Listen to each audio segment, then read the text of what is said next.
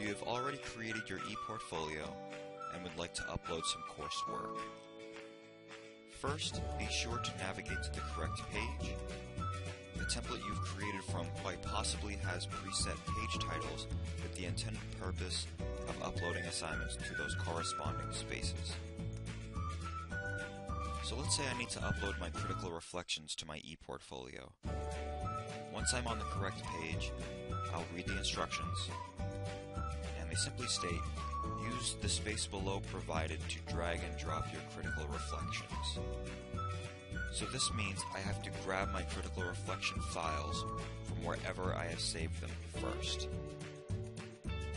They could be on my USB flash drive, they could be saved in an email, saved in a Google Doc, no matter where they are, I'll have to save them to my desktop.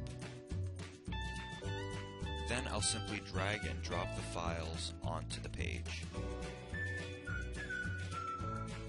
Okay, so my work is all uploaded, and while the ePortfolio does auto-save changes, I do have to make sure that I publish. This ensures that your instructor can actually see your web page. Think of publishing as your actual save button. Every time you make changes in your ePortfolio, you will want to publish. To do this, click the Portfolio Actions menu at the top right corner of the page, then click the second option, Publish Pages. This takes us to a page that lists all of the pages that exist inside of our ePortfolio. On this page, you want to make sure all the check marks on the left are green. If they're checked off green, that means they are selected or armed for publishing.